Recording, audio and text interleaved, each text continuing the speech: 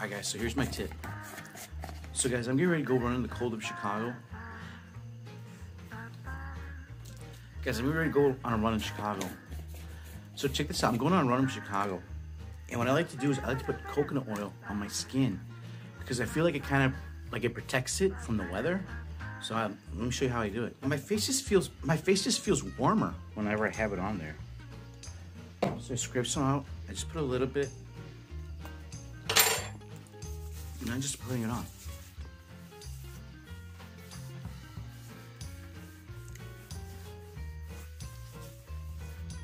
And I and I let it and I keep it on here um, it kind of absorbs. Like if you if you're wearing like a hoodie, like a hoodie or, or, a scarf or something, you want to let the oil at least seep in a little bit because it takes a long time. The coconut oil kind of takes a long time to absorb in the skin. I don't know why. That's just it. So I just wrote it in. Especially around here. This is what's gonna be exposed. And then I put my gear on and we head off for the run. So that's my that's my winter. So that's my winter tip, guys. That's my winter running tip. All right, y'all. All right, so that's my winter. So that's my tip. That's my tip if you're gonna go running in the winter. If you're gonna go outside and do some activity in the winter or the cold, put some coconut oil and uh, let me know what you think. Comment below. Love you guys. Bye. I'm gonna go for a run with the dogs. But what I want to say is, I hope you can hear me. It's kind of weird because I consider myself like an artist like an artist and me trying to start a company. Oh, and but I really don't know what I'm doing. So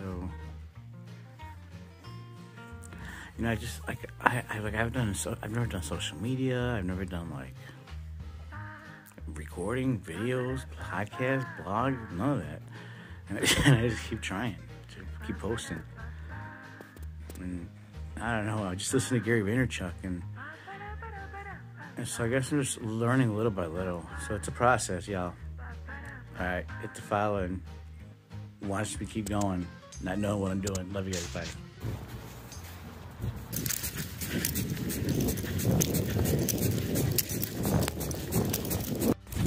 Guys, when I'm out running, one of my mentors is David Goggins and he says, do something every day that sucks. So, no matter what day it is, no matter what the terrain is, no matter what, I come out and run. No excuses. Only time we can't run is torrential rainstorm. Maybe that is an excuse.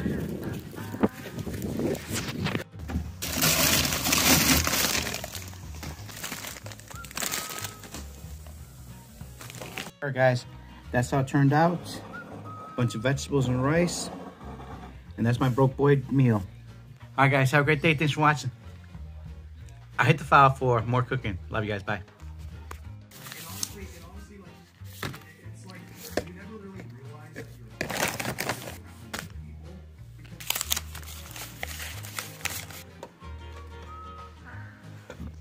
Alright guys, I just got home from riding the bike. I want to show you let me, I got just got home from riding the bike. I'm gonna show you a quick little treat. Hey, watch. All right, I'm gonna show you a quick little treat. What I'm gonna eat right now.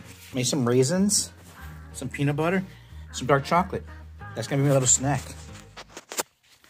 Have some raisins like that. Just, I'll probably eat like a, a handful. Get some peanut butter. Is my personal jar. Something like that chocolate.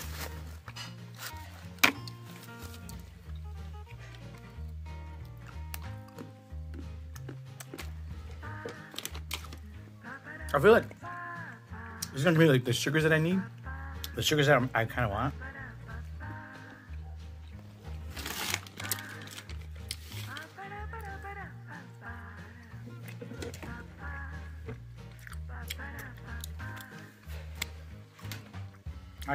Bye soon. Love you. Bye.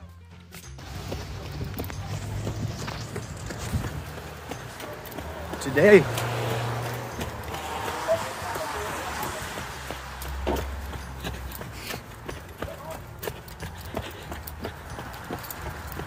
today, I will run with the hut.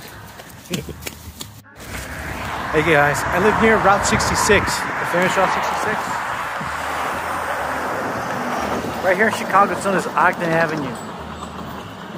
So let's go. We're right now. So there's Route 66. You can see it's downtown. It's right there. All right, guys. Love you. Bye.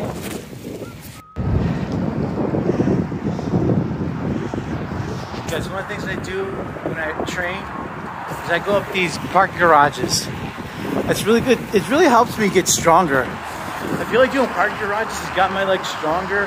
Like when I first started doing park garages, it was so hard, but now it's not that hard. It's just of a little easier.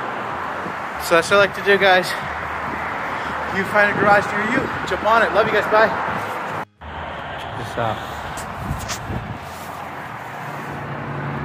This will come on the bike rides.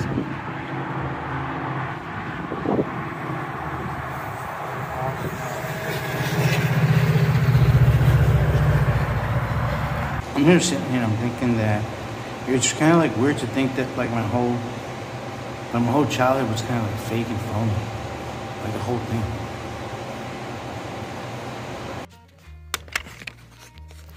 Yeah, I want to introduce you to this. I want to introduce you to this rice and beans. This is one of the cheapest meals that I know. Basically, rice, can of beans, heat it up, mix it together, and there you go. What's your cheap meal? Comment below. Love you guys. Bye. All right, guys. This is how it looks like you're getting a ride in Chicago. All right, guys, that's me. Now, we gotta get through here. Thanks for watching me. Get ready. I'll see you soon. Love you. Bye. Just fell off my gutter.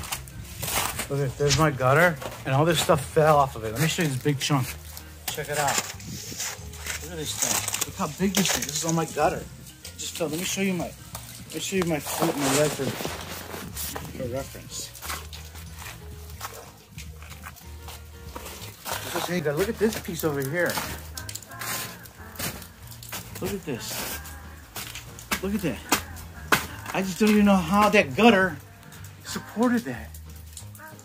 My God, it's it's it's bent. It's bent. It's completely bent. There's a dog. Look at that. Jeez. Came crashing down. See you guys. Bye. All right, guys. Look what I found. Two for seven. Gluten free and vegan. Woo! Let's get them.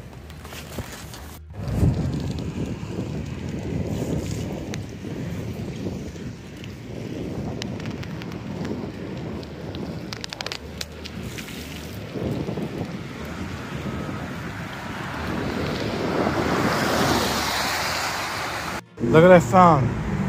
There's a food pantry. There's a food pantry right down the block. So these are blueberries. I think I'm gonna take these. Look at this. One, two, three, four bags of blueberries. I'm gonna take them. Home. Some of these bags look like they're getting a little leaky, so I gotta put them in the freezer soon. Okay, that's two and a half pounds. And I got four of them.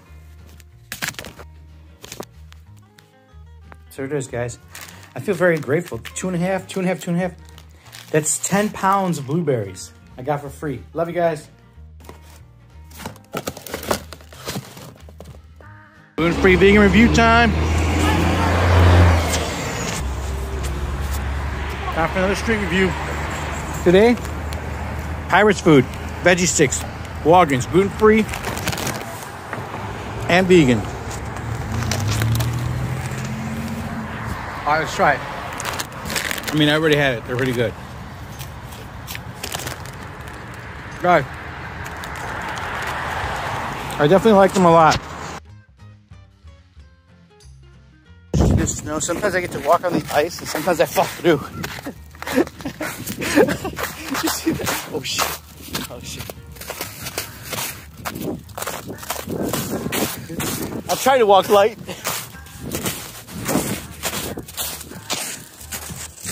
Well, there we go, guys. That's the view.